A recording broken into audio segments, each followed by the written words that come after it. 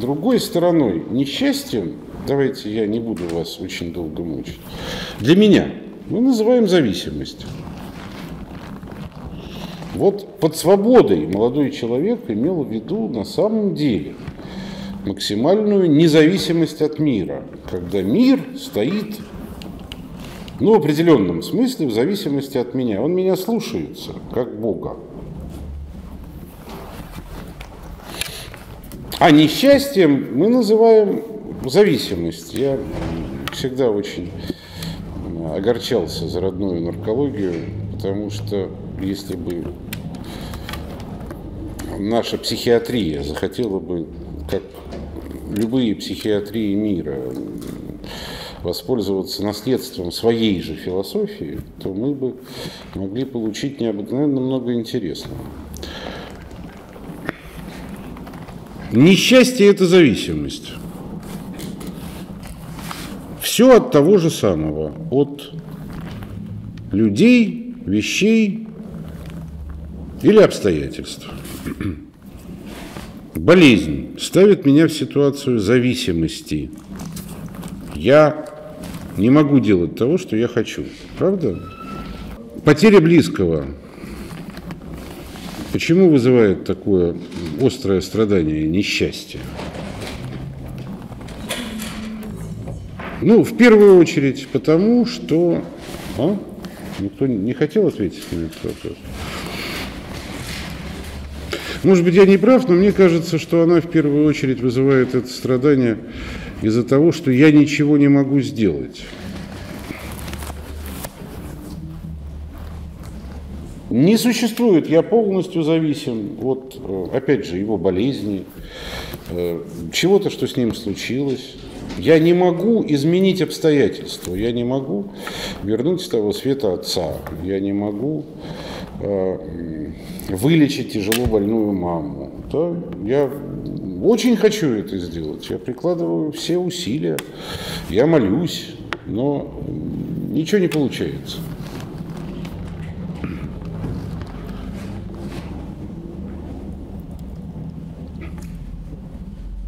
Кроме того, бывают маленькие несчастья. Маленькие несчастья, э, ну, в общем, они э, тоже несчастье. Там, я не знаю, разбил в доску автомобиль, который взял в кредит. Э, ну и так далее и тому подобное. Украли кошелек, а деньги были нужны на что-то очень важное. Правда?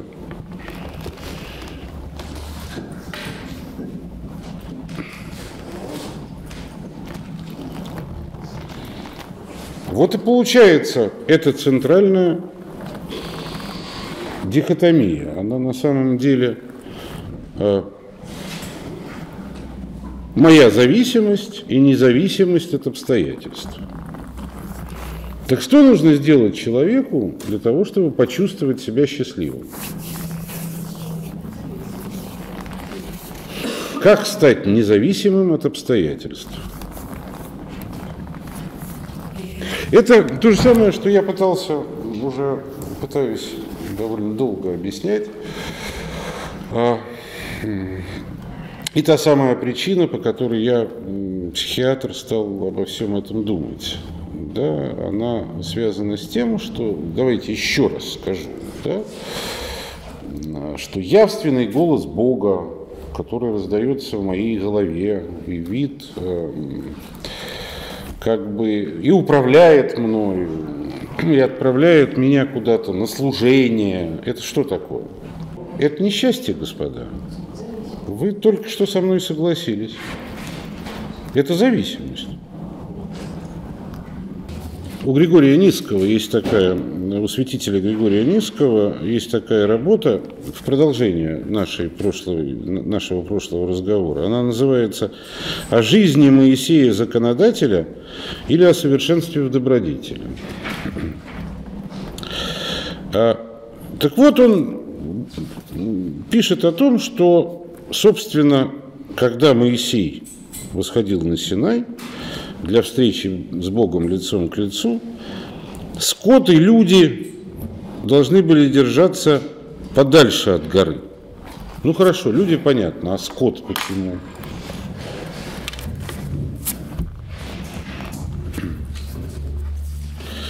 И, в общем, ну, говоря современным языком, святитель Григорий говорит, что это метафора. Это значит, пишет он, что не только страстные, но и самые простые помыслы нужно удалить от горы созерцания. Дух должен войти во мрак, во мраке Моисей встречается с Богом, вообще без всяких мыслей. Ибо в этом истинное познание искомого. В том и познание наше, что не знаем, потому что искомое выше всякого познания, как бы неким мраком объято отовсюду непостижимостью своею. Поэтому и, возвыш... Поэтому и возвышенный Иоанн, побывавший в таком светозарном мраке, какое слово замечательное, да, говорит, Бога никто же, видя нигде же, решительно утверждая этими словами, что не людям только – но и всякому разумному естеству недоступно видение Божией сущности. Поэтому Моисей, когда стал выше видением, тогда исповедуется, что видит Бога во мраке, то есть тогда познает, что божество в самом естестве, естестве своем то самое и есть, что есть непостижимость, что выше всякого ведения и постижения. Ибо, ибо сказано, в Ниде Моисей во мрак, и где же бяше Бог? Мне очень нравится старославянский. Кто же Бог? Тот, кто положит тьму за кров свой, как говорит Давид. В этом мраке и посвященный в тайны ходит. Конец цитаты. А все остальное есть зависимость, если брать вот с точки зрения сегодняшнего разговора, то есть несчастье. А каков же выход? Разве можно различить невидимого во мраке.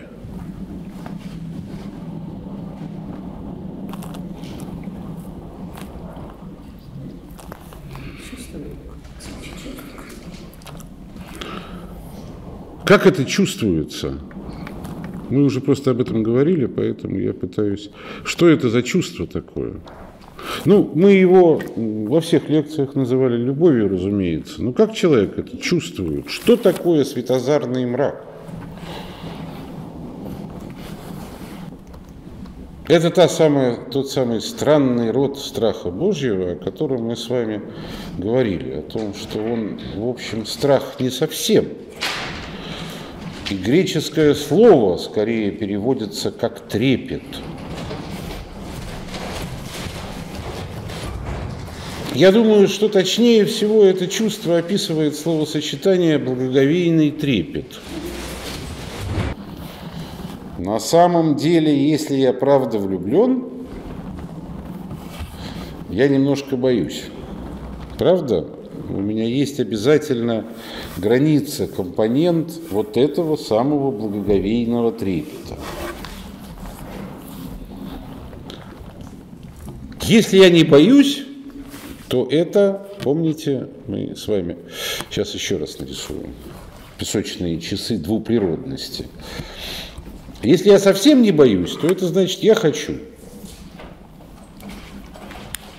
Типа, я свободный мужчина, ты свободная женщина, пойдем переспим. Почему я боюсь немножко, чуть-чуть? Говорить слова, приглашать на танец и вообще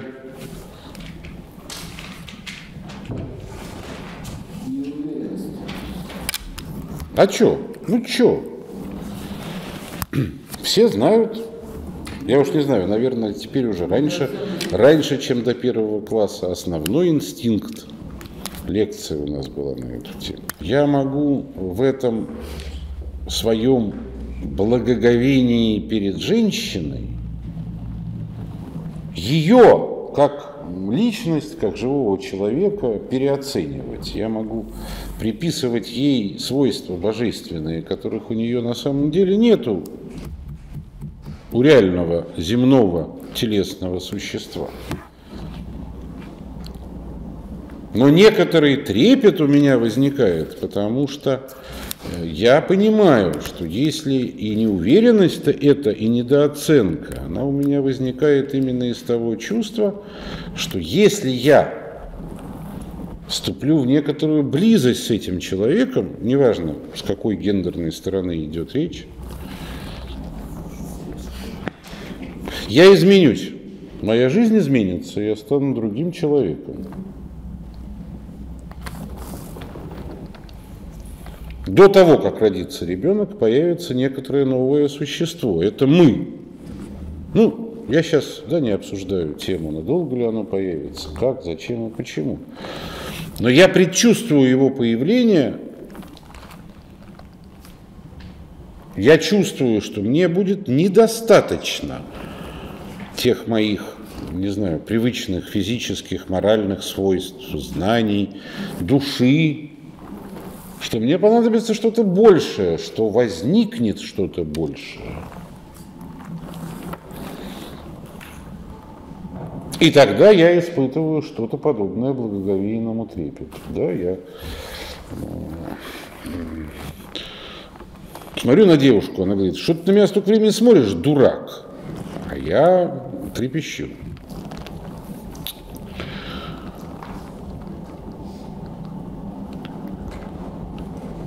Вот это чувство, оно, мы, мы до такой степени, собственно, вот оно, оно.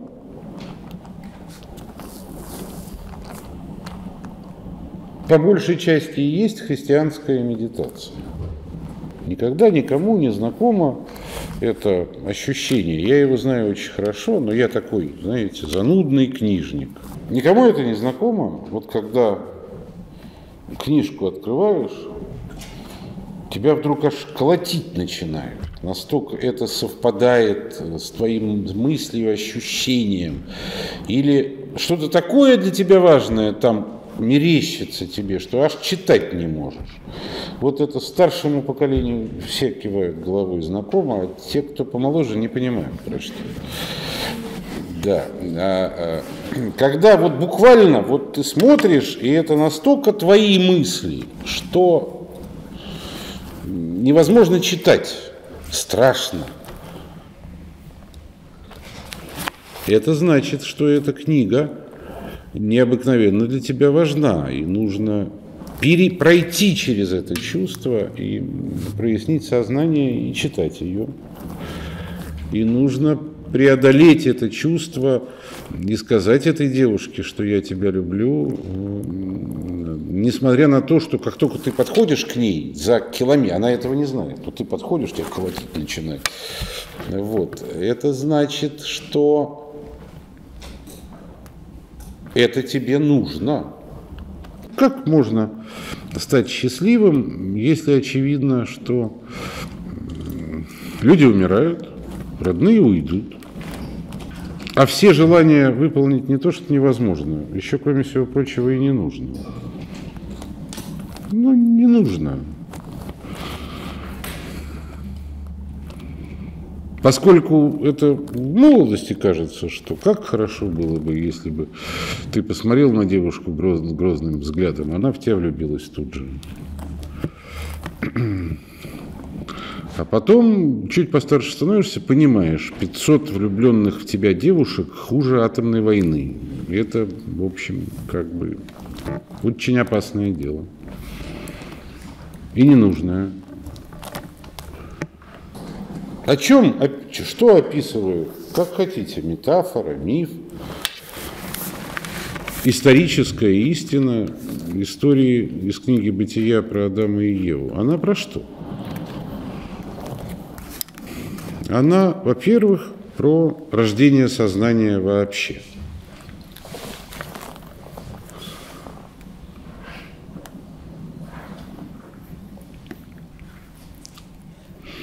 Что в сущности происходит э, в истории книги «Бытия»?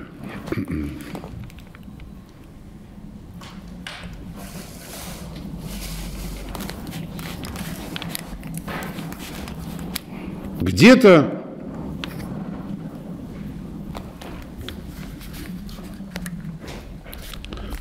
появляются люди, созданные Богом, которые не чувствуют себя отдельными от Бога. Да?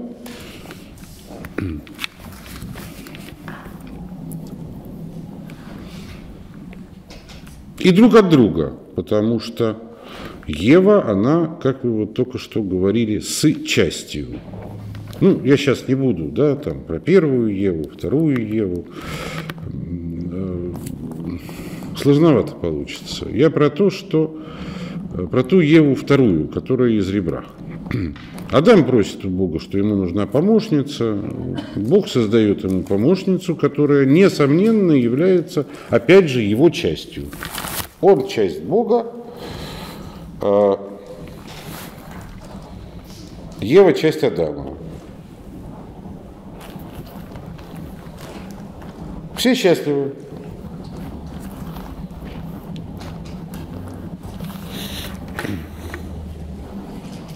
Счастливы или нет? Они этого не знают. Это очень, это не дифференцированное понятие. Да, ну, как сказать? Ну, наверное, животные по-своему счастье, счастливы в период спаривания. Ну, я абсолютно, я всегда был убежден, правда, что животное ближе к Богу, потому что инстинкт в понимании, как бы, мы, мы, мы не знаем на самом деле, что такое инстинкт, где он спрятан. Поэтому слова «Бог» и «инстинкт» для меня практически неотличимы одно от другого. Животные точно знают, что им надо делать.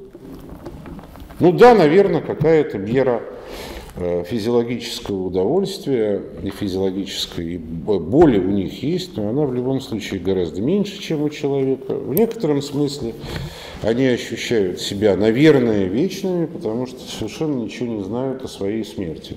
И не задумываются над этим. У них нет рефлексии, свойственной сознанию.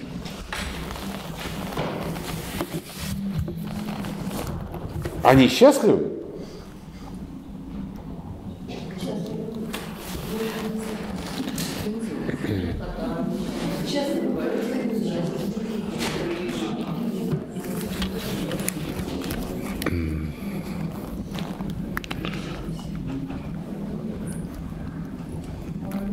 Весьма спорный вопрос, может, быть ли, может ли быть счастлив человек, не ощущающий э, чувство счастья, да, не знающий, что это такое, не имеющий такого вербального понятия. Для того, чтобы ощутить счастье или несчастье, не боль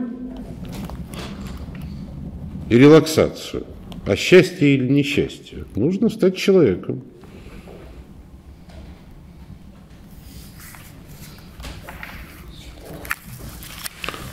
Чтобы приобрести некоторую свободу воли, опять нужно стать человеком. Ну, на мой взгляд, похоже в книге «Бытия», что Бог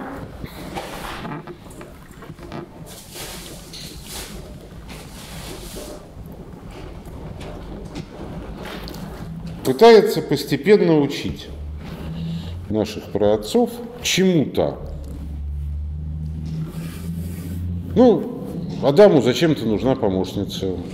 Значит, он там с чем-то у себя в саду традиционно не справляется.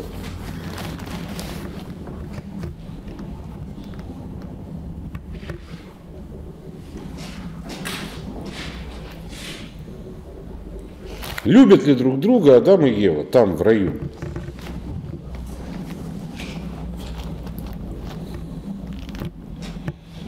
Ну, наверное, но очень, это очень близко вот к той самой любви животных и, и находится. И очень постепенно, э, строка за строкой, как бы потихонечку выделяется. Что происходит дальше? Появляется змей и соблазняет Еву чем? Яблоком. Между прочим, все, что происходит пока, очень соответствует тому, что происходит с маленьким ребенком.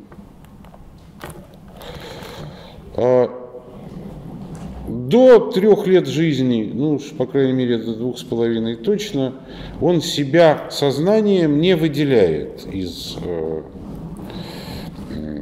от родителей.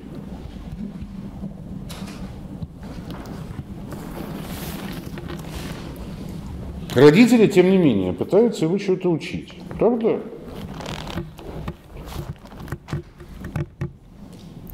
И он начинает смутно себя выделять, иногда даже помощницу в три года начинает просить, типа, мама, хочу сестренку.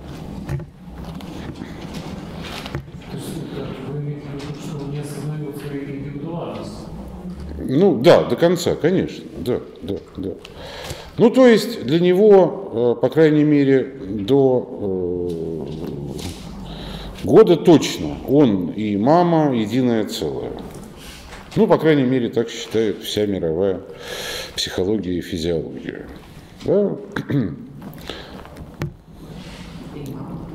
Кстати, интересно, что... Ну и мама тоже, это опять...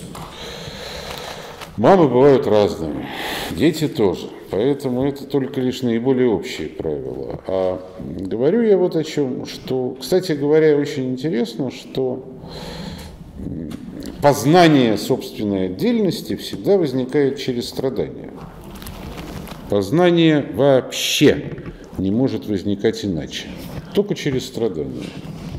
То бишь, пока ребенок голоден, ему нужно произвести некоторые усилия, заплакать. Только он голос подал, тут же появляется грудь. Это его часть. Да? Как бы вот он нажал некую кнопочку, грудь появилась. Наверное, он какие-то такие же сигналы, только уже совсем гормональные, подавал и пока был в животе у мамы. Дальше он плачет, а мама спит. Тут он понимает, да, что объект может не появиться в ответ на его сигнал. И нужно сделать какое-то другое усилие, чтобы этот объект появился. Мелани Кляйн, которая описывала эти процессы, она это называла хорошая грудь, плохая грудь. Ну, Анна Фрейд, кстати, первая дочка Фрейда, стала заниматься этим развитием.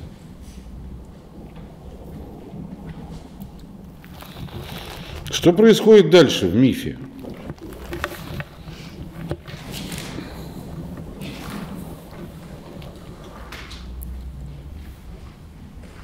Бог ведет себя, как все родители. Правда? Он говорит, э, это можно трогать, это нельзя. То, чего трогать нельзя, то больше всего трогать хочется. Почему?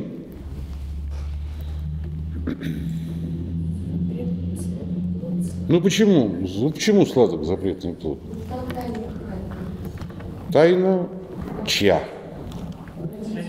Ну, там есть тайна могущества родителей. Раз они говорят, этого трогать нельзя, значит, как в бороде у Хатабыча, да, тут таится тайна, и эта тайна э, э, э, то, что скрывают родители, потому что это дает силу им, поскольку э, на втором этапе то есть на первом этапе отделения ребенка от родителей, где-то в те же 2-3 года ребенок считает, что родители боги.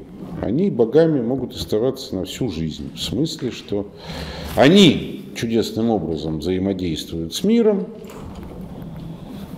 им управляют, и всякие оттуда блага для ребенка приносит. А он управляет своими родителями. Мы часто точно так же к Богу и относимся. Опять главным страданием, мне кажется, в этом мифе оказался страх по той простой причине, что э, там первое, что возникло, страдание, это что Адам э, побежал, настучал на Еву.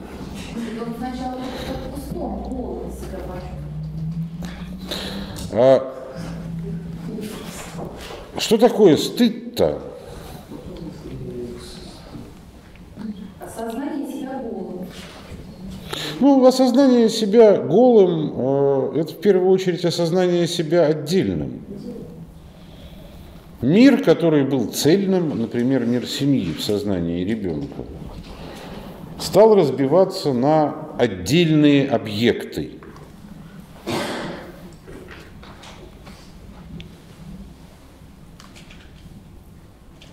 Мама голая. Это имеет значение, это стыдно, это имеет значение тогда, когда сознание ребенка, неважно на самом деле девочки или мальчика, уже существует как отдельное, независимое сознание.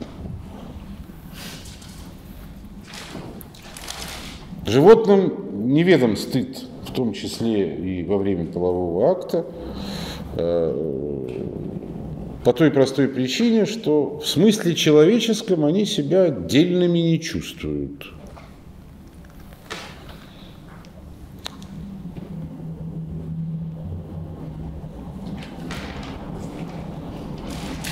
Что произошло? Ну, если опираться на нашу схему, то Адам с Евой из внутреннего мира вот этого сущностного единства вышли во множественность, где стали ощущать себя отдельными объектами.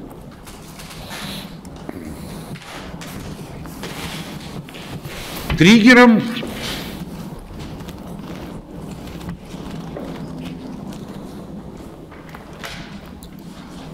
на мой взгляд, это я все время очень упираю на этот вопрос, послужило яблоко.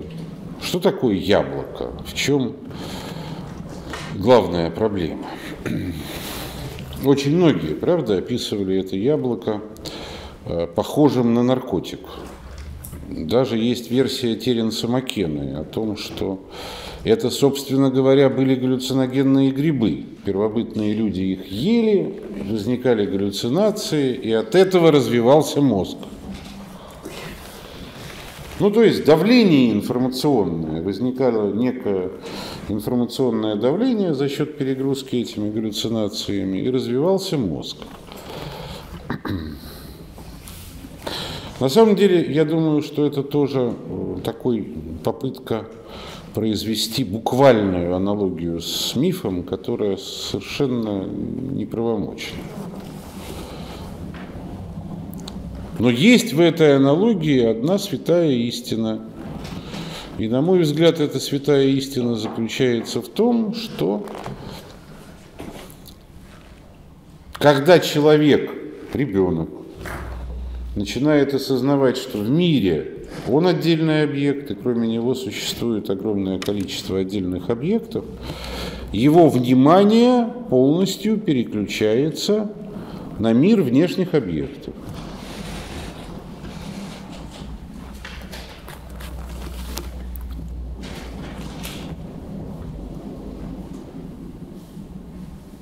Он начинает эти объекты дифференцировать Хорошая Ева, плохая Маша.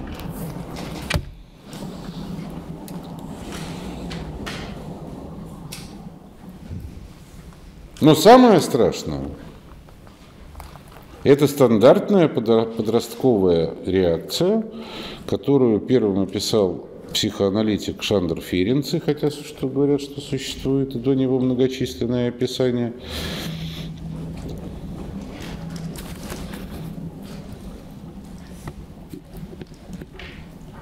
Он написал так называемый синдром детского всемогущества.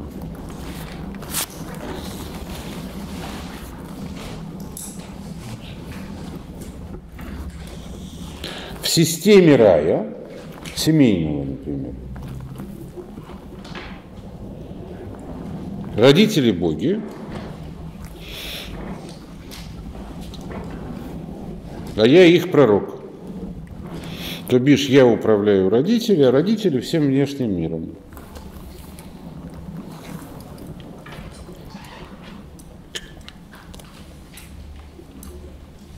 Как только я понимаю, что это не совсем так, и мир начинает разбиваться на большее, на большое количество объектов,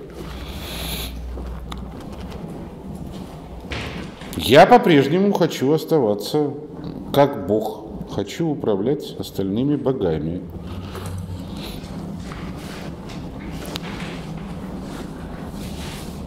И для этого я начинаю искать волшебный объект – Волшебную палочку мы всегда говорим.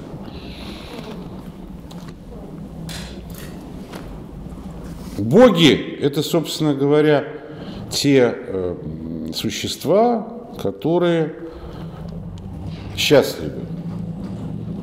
То бишь, это те самые существа, которым не надо тратить время и усилия на выполнение своих желаний. Им учиться не надо. Они могут, там, я не знаю, говоря сегодняшним языком, заплатить и все купить.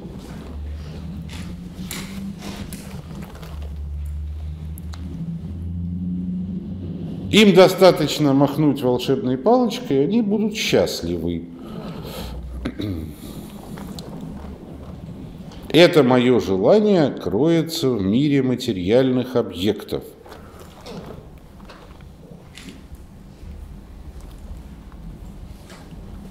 За мной захлопывается дверь рая.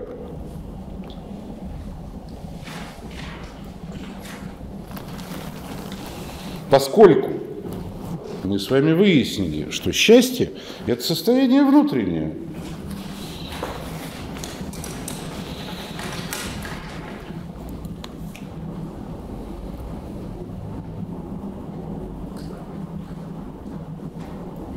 А я Сложная мысль, да? Непонятно? Что непонятно? А я, узнав, что э, мир состоит из объектов, других, начинаю искать некоторый материальный объект, в том числе и человека, если угодно, который вернет мне вот это ощущение детского всемогущества –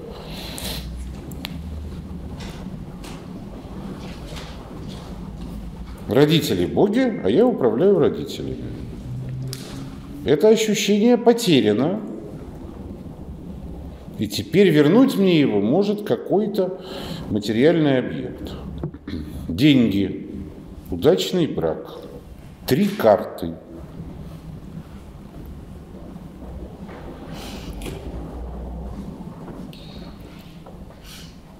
Игральный автомат из казино. Шприц или бутылка?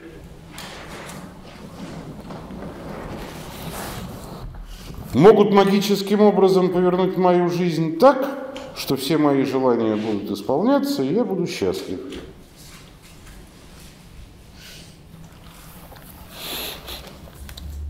В большинстве случаев, когда девушки мечтают выйти замуж за принца, имеется в виду не принц как некая личность, а принц как объект, который вместо родителей будет выполнять все желания девочки. И наоборот, мальчика, да, я имею в виду, соответствующая принцесса.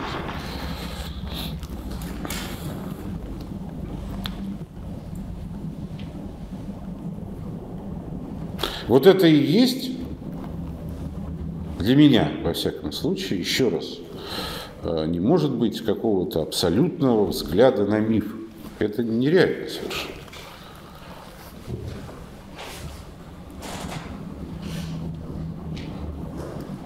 Что происходит? Происходит очень простая вещь. Мое внимание в поисках счастья с какого-то этапа жизни занято исключительно миром внешних объектов. Надо еще читать цитаты. Могу чего-нибудь поискать. Что у меня есть?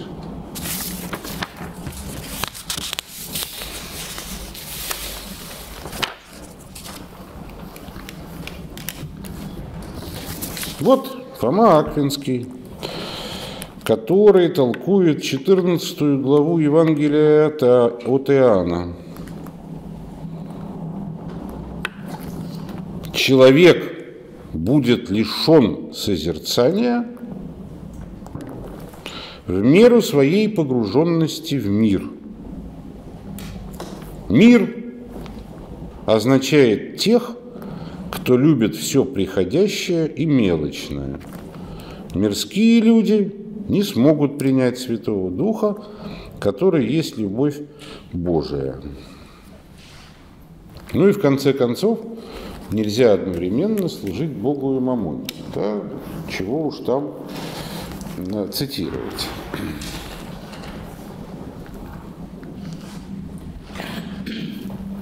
Первородный грех – это надежда на объекты внешнего мира, как на нечто, что вообще может содержать в себе добро и зло. То есть знание о счастье и несчастье, в частности –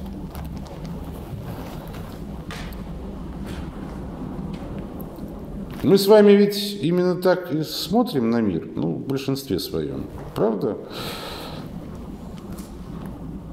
Ученый ставит эксперимент и получает знания. Хотя копенгагенская физика, в общем, выяснила, что это не совсем так. А что касается психологии и психиатрии, то она это неоднократно подтверждала. Вот психиатрия в этом смысле наука вообще поразительна. В ней поставить диагноз, не поставив его предварительно, невозможно. То есть сначала человек в голове мгновенно ставит диагноз, увидев больного, а потом сам себе это доказывает. Иначе невозможно. Сейчас не буду очень глубоко туда уходить. Поверьте мне нас.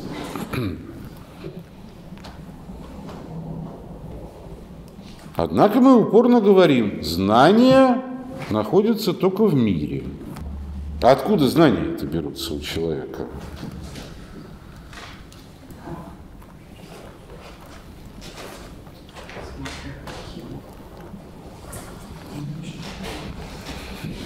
И на самом деле, по большому счету, самое удивительное, что любые. Поскольку даже для того, чтобы получить чисто количественное знание об объектах, надо сначала выяснить, откуда берется число.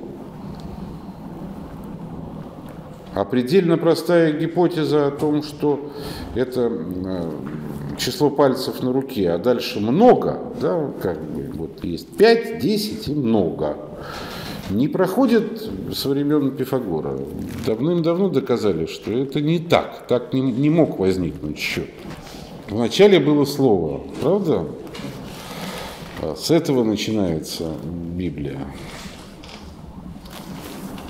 Но тогда слово не только трансцендентно миру, но и имманентно ему, правда? Потому что если словом создан мир – то слово присутствует в мире. Когда ты понимаешь,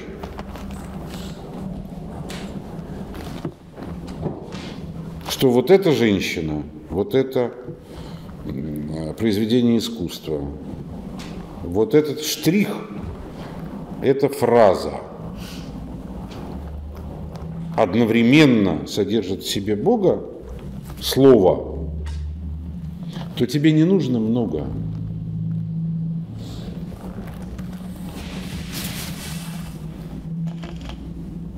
Ты начинаешь чувствовать, что любая деталь выводят тебя в бесконечность.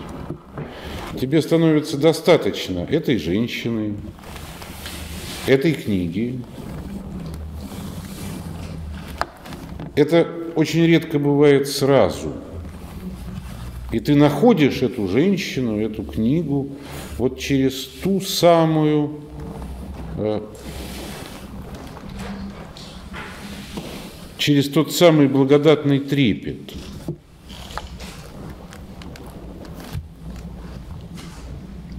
Поскольку если у тебя по отношению к священному писанию его нет, и ты открываешь э, Библию, там, я не знаю, иконандуиля с одним и тем же чувством, она не станет ценностью, пока этот трепет не появится, и если он появится.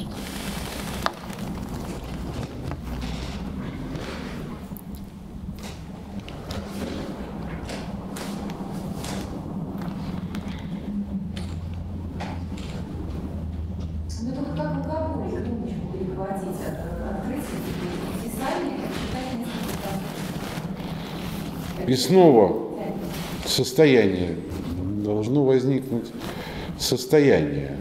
Ты должен обратить внимание, не бояться, не отгонять, а обратить внимание на этот благоговейный трепет, который некоторые, между прочим, и страхом считают.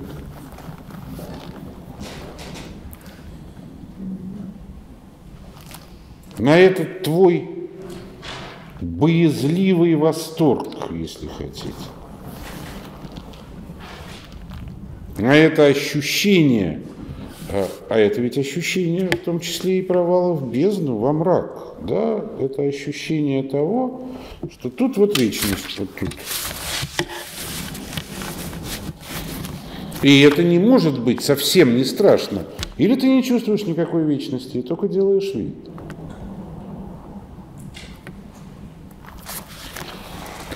Но в любом случае это путь в глубину себя,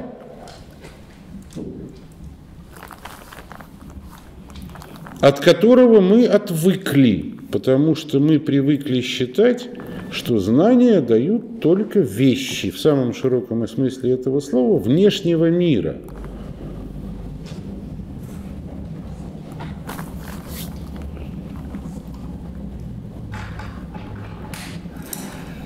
Мы никак, мы это э, самая страшная наша беда. Мы просто боимся собственного внутреннего мира. Мы боимся оставаться наедине с собой. Мы боимся оставаться э, с выключенными экранами компьютера или телевизора. Мы перестали понимать, что значит думать и чувствовать. Мы перестали понимать из-за обжорства информации, что значит вот это вот вот этот настоящий эстетизм, это бесконечность в детали.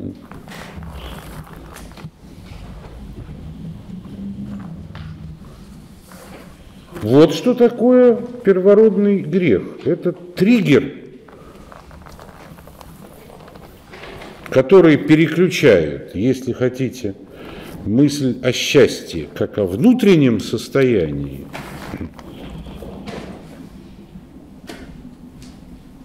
о состоянии хождения под Богом.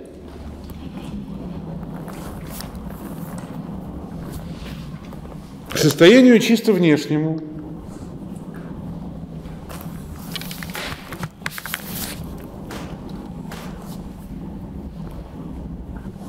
Признание мира абсолютной иллюзией, майей, привело Восток к остановке цивилизационных усилий. Да? Так ведь произошло.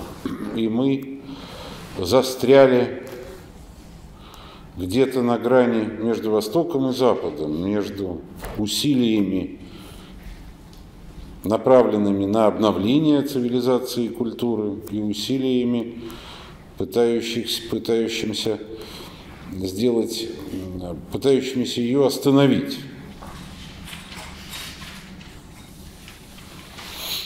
Случайно ли получилось так, что э, Запад в самом широком смысле этого слова признавал важность человеческого знания. Мы с вами на самом деле об этом говорили. Нет, говорит Декарт, в силу того, что считает честную мысль собственно, главной повседневной формой христианской медитации. Вот, например, Томас Мертон.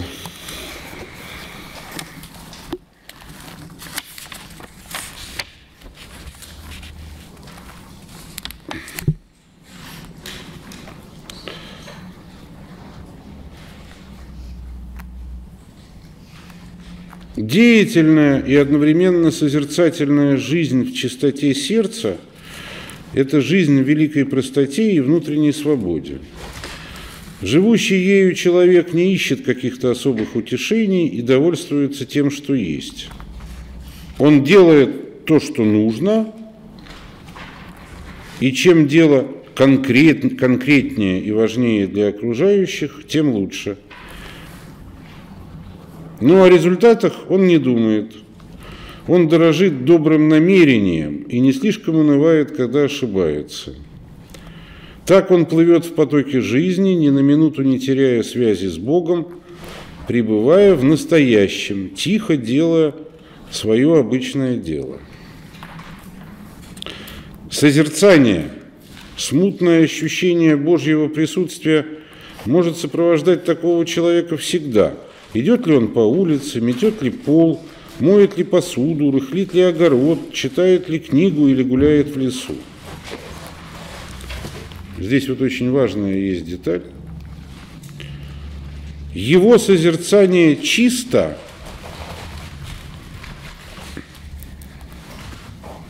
потому что он никогда за ним не подглядывает, за, за созерцанием. Такое хождение с Богом есть самый простой и безопасный путь в молитвенной жизни, а заодно и самый верный. Он не привлекает ничего внимания, а уж тем более внимания самого подвижника, который очень быстро научается не видеть в себе ничего особенного. Такова цена его свободы. Такому человеку знакома благодать созерцания, потому что он никогда не считает себя состоявшимся созерцателем. Только не подумайте, что он не может быть настоящим мистиком. Благодать не только помогает ему вести деятельную жизнь, но и рождает в нем мощную созерцательную интуицию, которую он не потеряет, если не уйдет в дела с головой, или наоборот, уйдет в них до конца. Дело в сердце – Истинное созерцание, равнодеятельное и пассивное, присуще только чистому сердцу. Откуда чистое сердце берет знание? Я думаю, что не, не, не совру, если скажу, что большая часть вполне светских писателей и философов. Я целую книжку об этом написал, поэтому не буду перечислять всего. Всегда считала, что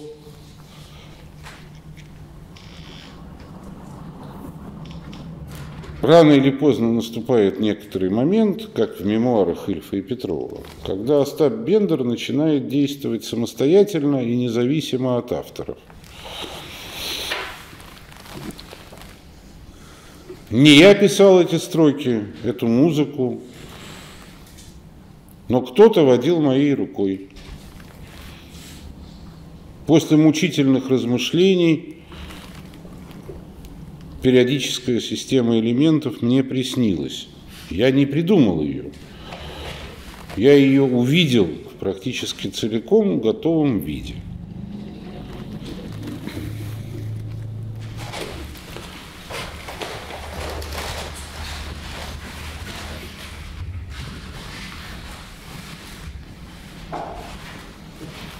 Если помыслы человеческие в целом чисты, и направлены на получение знания, а не на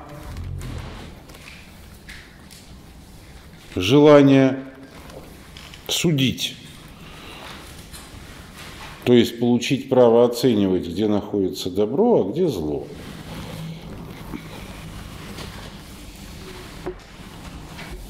Эти знания открываются.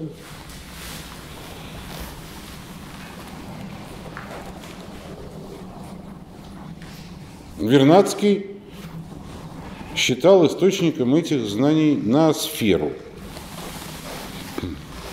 Некоторый информационный банк.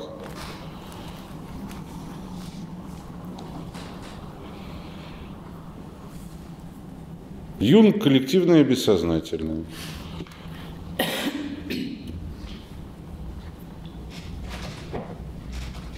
Какое название эта сфера получила в христианстве?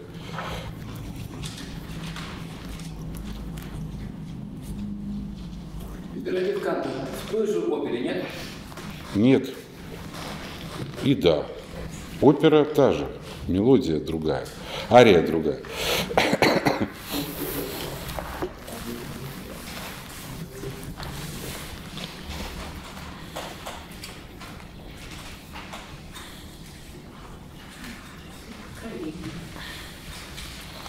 Ну, я считаю, что э, мы посвятим этому следующую лекцию, если позволите, потому что об этом надо говорить подробнее.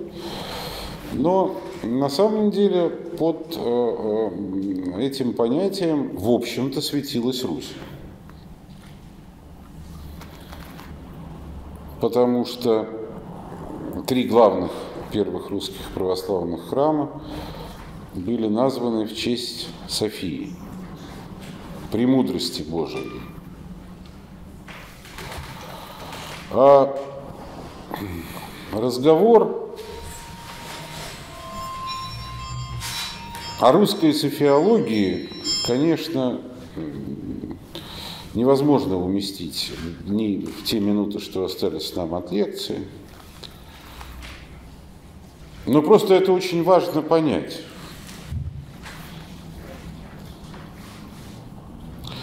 Я просто, чтобы не копаться, всем, наверное, знакомы эти строки. Я была при нем, когда он проводил круговую черту по лицу бездны. Я была мудростью,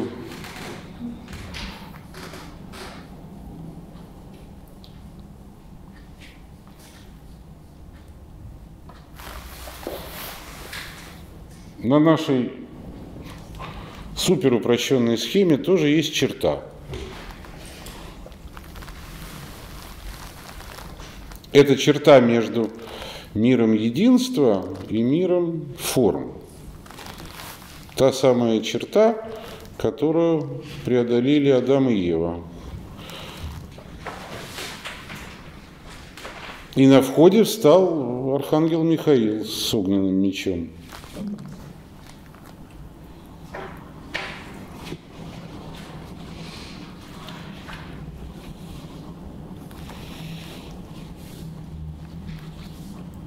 Премудрость Божия, София.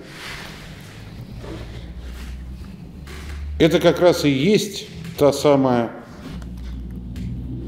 нехорошее очень слово, часть Бога или воплощение Бога, сущность Бога, которая доступна человеческому пониманию.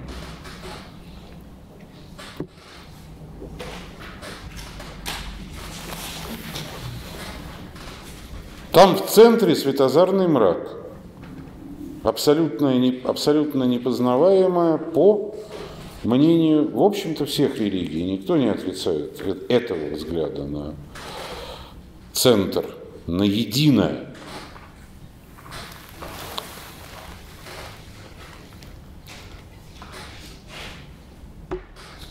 Однако есть мир форм, и в нем есть не только имманентное, но и трансцендентное.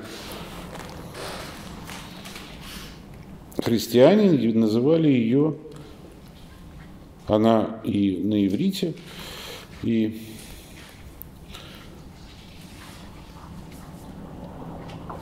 на старославянском женского рода. Софией, премудростью Божией, Божией божественным знанием –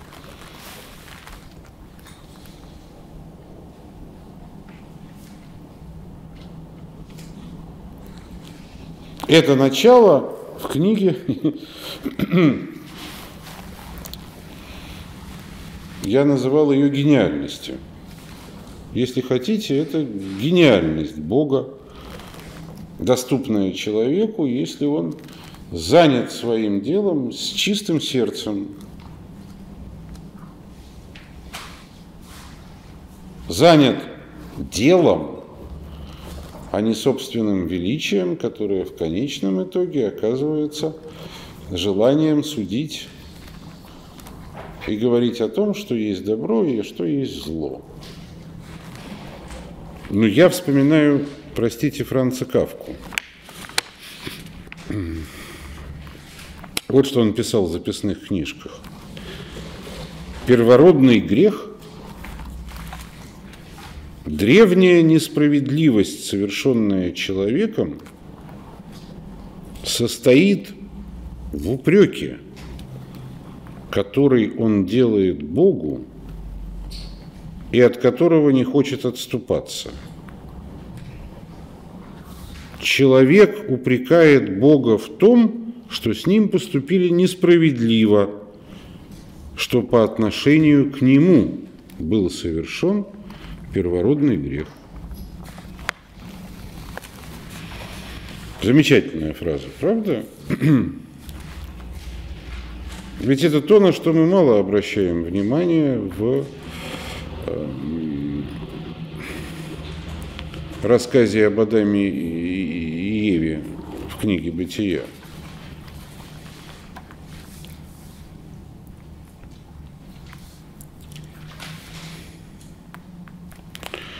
Вот еще коротенький диалог из тех же записных книжек.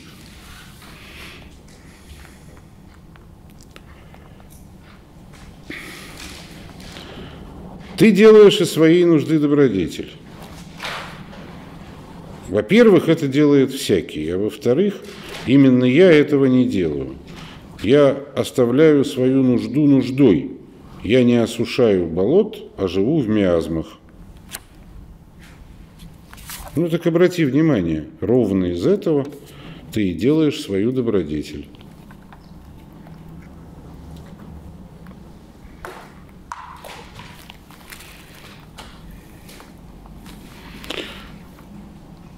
Вот чем отрицает, вот чем отличается христианский созерцатель или христианский искатель знания от любого другого искателя знания. Он не пытается делать добродетель из того, что он делает. Очень многие пытаются делать добродетели своего унижения, например. Разве нет? Об этом Кавка. Я оставляю свою нужду нуждой, я не осушаю болот, а живу в миазмах. Из этого ты и делаешь добродетель. Первое. Померанц повторяет, или мы повторяем за померанцем, не поймешь никогда, то, о чем мы с вами только что говорили. достоверное знание есть, и оно прячется в душевной глубине.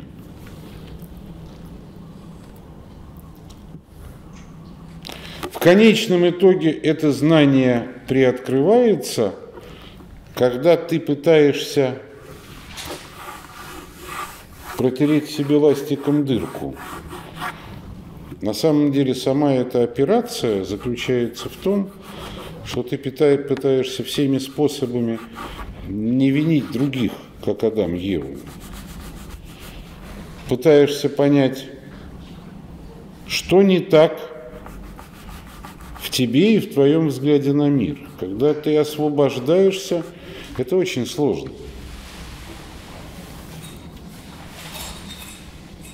От любых попыток стать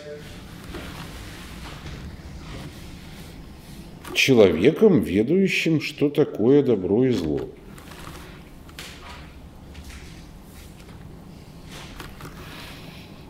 Когда я говорю о символе яблока в мифе книги «Бытия», я имею в виду ровно то же самое, что имеет в виду померанц под словом «икона».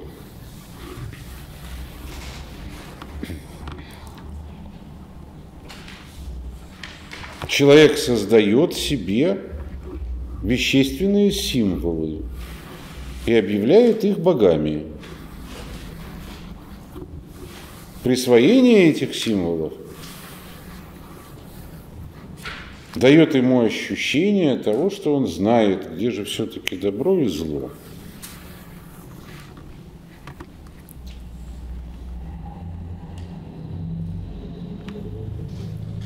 Человек чувствует свою незавершенность. но пытается завершить себя, достроить с помощью материальных объектов.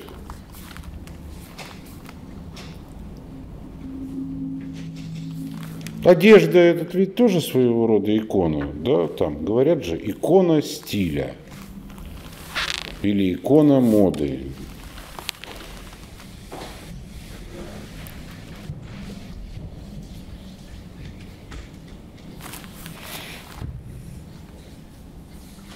икона в православии. И я в данном случае ни, ни, ни, ни, ни к иконоборцам не примыкаю. Это ведь на самом деле ключ к внутреннему состоянию души.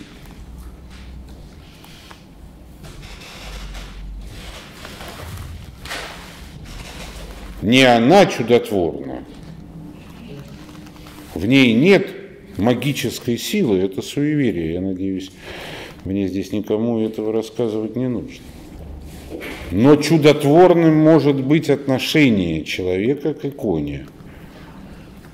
Тот молитвенный ритм или та медитация, на которую он настраивается при виде этого символического изображения. Оно не имеет, оно построено не на конкретно портретном сходстве, да?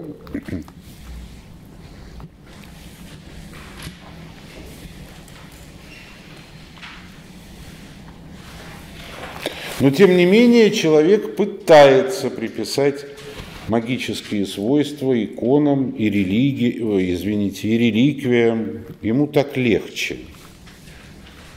Легче ровно потому, что он всюду ищет яблоко познания добра и зла. Он хочет чуда. Только ищет его не в себе, а в храме, например.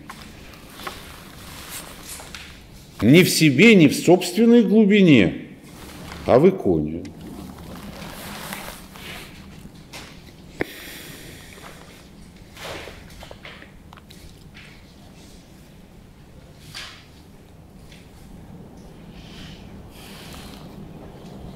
Не в себе, а в каких-нибудь гадальных приспособлениях. Хотя гадает это он, он включает в себе таким образом интуицию. Сами по себе вещи для гадания никакой магической функции не представляют.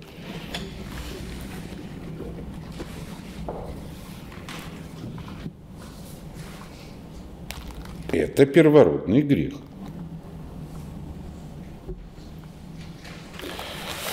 Я лишь хочу сказать, что этот первородный грех абсолютно естествен и необходим. Вот в чем сложность. Поскольку нету этого самого первородного греха и нет любви, а есть инстинкт пребывания в единстве, нет множественности – и нет любви. Представляете что такое Бог? Единое. Я сливаюсь с ним и теряю себя. Кто кого любит в этом процессе? Поэтому проблема, я поэтому, извините, я вас путаю, я понимаю, но эта проблема, на мой взгляд, самая главная, одна из самых главных э, мировоззренческих проблем в мире. Ну, буддисты вам ясно скажут, индивидуальность – это ложь, она не нужна, от нее нужно избавиться. Сторонники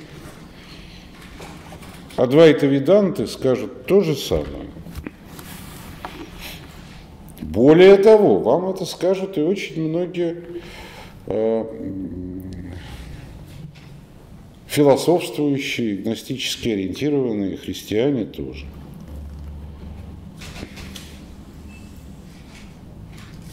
Но тогда прогресс не нужен, цивилизация вредна,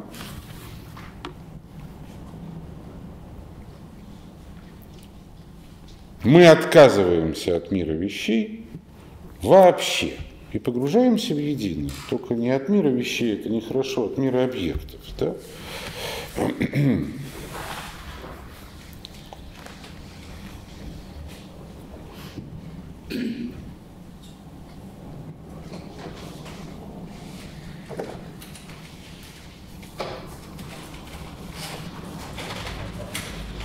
Проблема в том, что если мы хотим оставить себе любовь, оставить себе э, чувство, оставить себе красоту,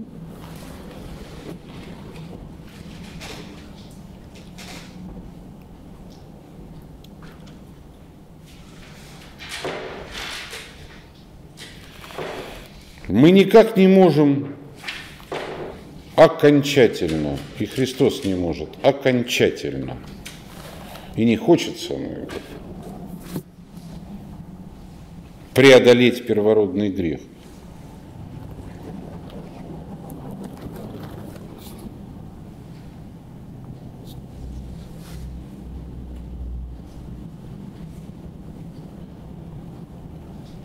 Он лишь хочет, чтобы грех перестал быть грехом. А для этого достаточно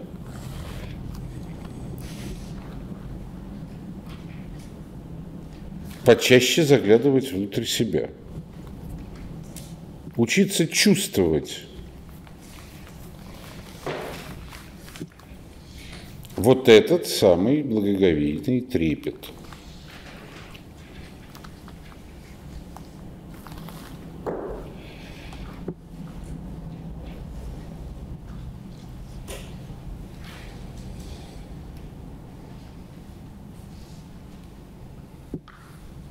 поскольку там через это простое чувство можно понять невероятно многое. И про знания, которым ты предназначен, и про знания, которые нужны миру и опасны для мира –